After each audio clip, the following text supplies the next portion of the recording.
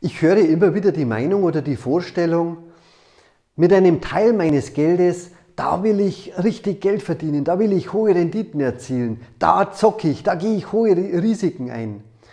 Und wenn es schief geht, dann tut es mir nicht weh. Dann kann ich diesen Verlust verschmerzen.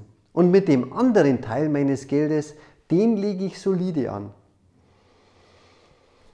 Da habe ich eine andere Meinung, da habe ich eine andere Erfahrung gemacht. Für mich ist Vermögensaufbau keine Frage des Glücks oder des Zufalls. Für mich ist Vermögensaufbau eine Frage der Planung, der Strategie und der Umsetzung dieser Strategie über Jahre hinweg.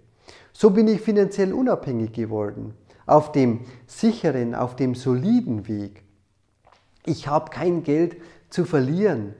Für mich muss jeder Euro solide Renditen erzielen.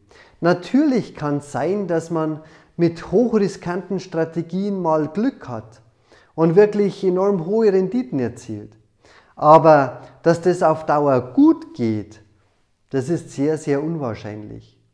Und mir fehlt dann später dieses verlorene Geld beim Glücksspiel, das ich da verloren habe, das fehlt mir später für den soliden Vermögensaufbau.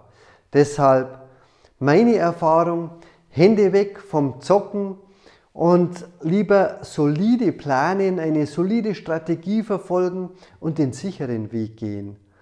Denn es geht ja schließlich um Ihr Geld und um Ihre finanzielle Zukunft. Wenn Ihnen dieser Tipp gefallen hat, dann freue ich mich, wenn Sie mir einen Like hinterlassen, wenn Sie das Video teilen und weiterempfehlen. Denn so erreichen wir mehr Menschen, die wir von solidem Vermögensaufbau überzeugen können. Und wenn Sie meinen Kanal abonnieren, dann verpassen Sie zukünftig kein Video.